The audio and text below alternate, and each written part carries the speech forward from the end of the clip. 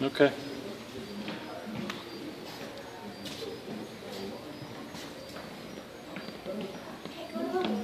Yeah, we're going. I just want to record all this first.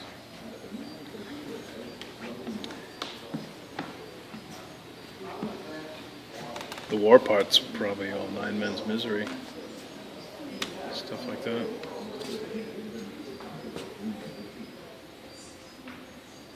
Yeah.